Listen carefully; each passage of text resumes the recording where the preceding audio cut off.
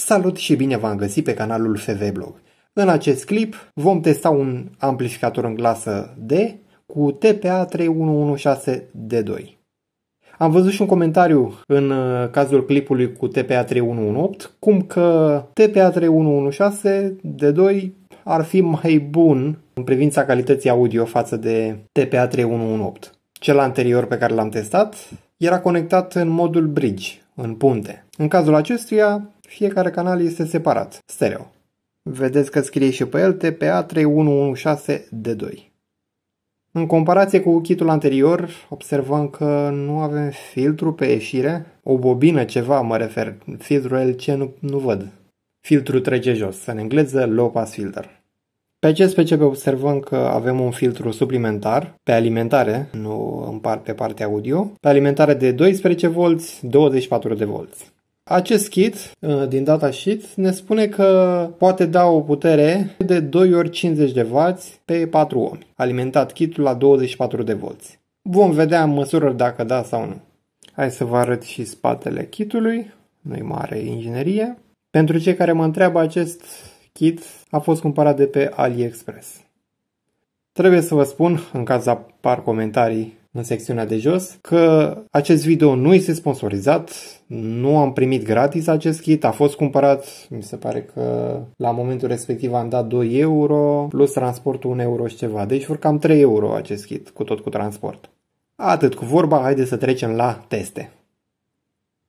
Am lipit niște conductoare de acest cablaj. Vom folosi doar o singură ieșire, logic. Ieșirea din partea stângă, oricum nu prea contează. Intrare, canalul stâng. Am pus un uh, potențiometru de volum pe intrare. Din placa de sunet, un jack de 3,5 cu un cablu ecranat. Alimentarea, două conductoare groase. Am setat alimentatorul la 12V, deoarece vom testa doar pe muzică momentan.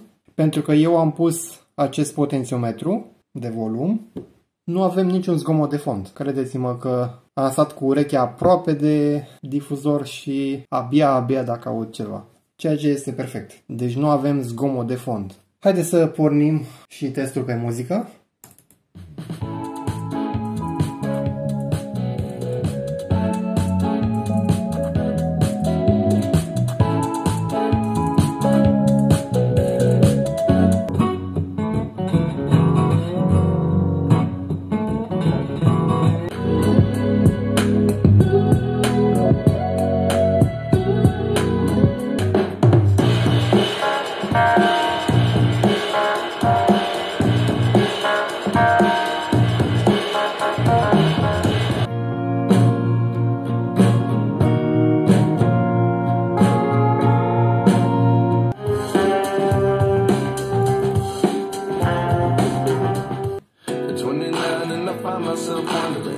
What did happen to the last ten. I read you, but now I'm seeing all the signs. Da, mi se pare ok, în regulă. Pare totul la locul lui. Se pare că am avut unele dificultăți în a măsura puterea, a măsura practic semnalul pe ieșire acestui amplificator cu TPA 3116D2. Chiar și așa văd că tot avem un oarecare zgomot pe sinusoida respectiv. O să vă povestesc puțin mai târziu pățanile prin care am trecut testându-l un pic separat. Din câte ați observat am scos și acele condensatoare ceramice. Da, o să vă povestesc puțin mai târziu. Iar, dar acum să măsurăm puterea pe ieșire la tensiunea de 12 V cu aproximație și impedanța de 4 ohm. Sunt două resoare de 8 ohmi în paralel. Să mărim semnalul. Se vede că a intrat în clipping. Și aproximativ 20 de volți vâr la vârf. La frecvența de test de 1 kHz, bineînțeles. Testasem dinainte și am observat că la 24 de volți, la să vă arăt, intră, pare să intre în protecție.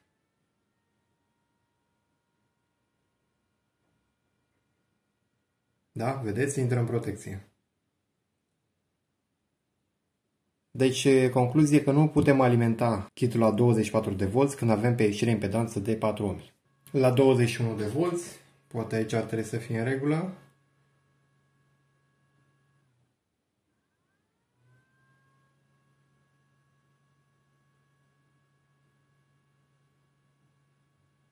Nu, și aici intră în protecție.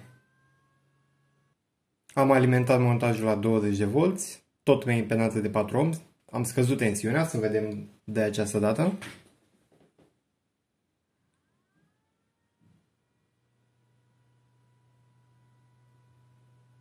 Și cam aici avem uh, tensiune cât de cât curată de, hai să spunem, 20-32 de volți, vâr la vârf. Să măsurăm puterea pe ieșire pe impedanță de 8 ohmi la tensiunea de 12 volți. Să mărim semnalul.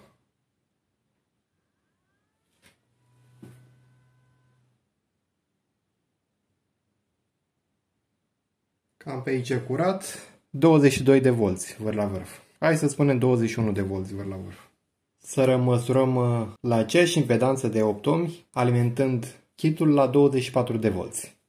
Să sperăm că de această dată nu mai intră în protecție termică. Poți să ții mâna pe acel radiator. Ia să vedem. A intrat în clipping.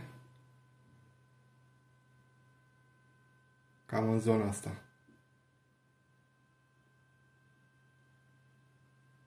Hai să sperăm pe aici. 44 de volți vâr la vârf, cu aproximație. Am făcut și calcul privind puterea, folosim formulele acestea. Nu o să le mai explic, că deja le știți.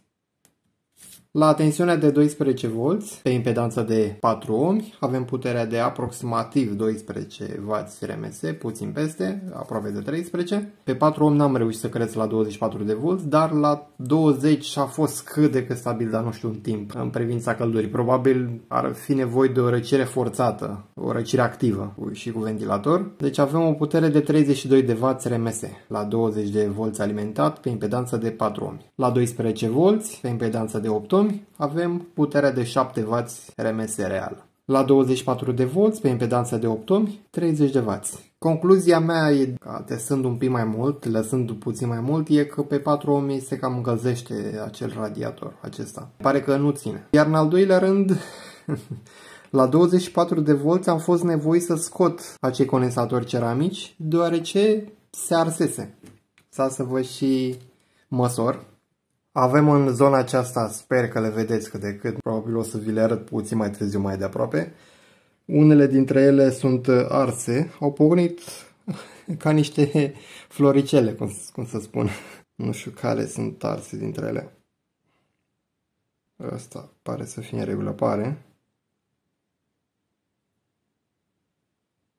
Știu că avem uh, două arse, 100% avem două arse. Dar nu dă nimic, le dau ceva, ceva. Stai mă, ia uite-l mă, nu vrea să fie măsurat. 0,55 ceva de omi. ok, să vedem pe ăsta. 100%, avem unul de 10 omi, se pare, dar nu știu, nu știu care exact. A, fine, mai departe. Cred că ăsta e. A, nu, stați că l-am găsit, l-am găsit. Ăsta e. Îl pierdusem. Da? 14 omi. Deci când cumpărați un astfel de kit, eu spun să eliminați aceste condensatoare ceramice, că nu rezistă la 24 de volți. Probabil au tensiunea maximă suportată mult mai mică. Un minus evident al acestui montaj cumpărat de pe AliExpress. A, și radiatorul e pus de mine. Hai să-l scoatem. Iar acum urmează să măsurăm și răspunsul în frecvență utilizând uh, generatorul meu de semnal portabil, dacă pot spune așa. Am reglat la 1 kHz ca să avem care per, deci avem uh, tensiunea de 14 V vâr la vârf, cu aproximație, țineți cont de această cifră, doar la măsurare să vedem dacă scade sau crește. La 20 Hz se vede că avem o atenuare spre 12 V vâr la vârf, să creștem ușor Începe să-și revină.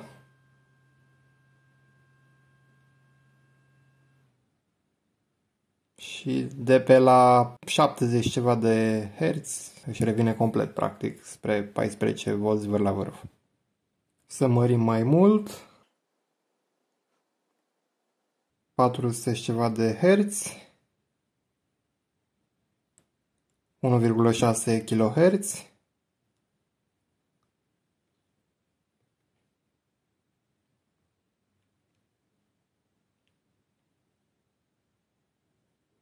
3,8 kHz și până aici are un răspuns în frecvență bun, aș putea spune. Da, și se pare că la măsurarea răspunsului în frecvență mi-a cedat. Chitul a murit. N-am reușit să fac testul cu răspunsul în frecvență. Se mai întâmplă. Semn că probabil e apro... și se încinge foarte tare. Da, s-a încins. S-a oprim alimentarea.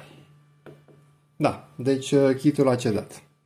Se pare că la măsurarea răspunsului în frecvență, kitul de față, amplificatorul TPA-ul a murit, a decedat subit. Concluzia este că în momentul când achiziționați pe AliExpress trebuie să știți că vă supuneți anumitor riscuri, ca acele componente să funcționeze, să aveți norocul să funcționeze, iar alte ori, ba. Deci să nu aveți încredere în specificațiile scrise de pe AliExpress, este destul de clar. Eu știam deja dinainte, dar am vrut să mă conving, să măsor eu cu mânuțele mele, cum se spune. Până la urmă, ce scrie acolo că 2 ori 50 de W, integratul de față, în niciun caz nu ajunge la puterea respectivă. Cam mai este în acest clip. Dacă v-a plăcut, nu uitați vă rog de butonul like, să vă abonați dacă nu ați făcut-o deja și vă aștept pe data viitoare. Toate cele bune, la revedere!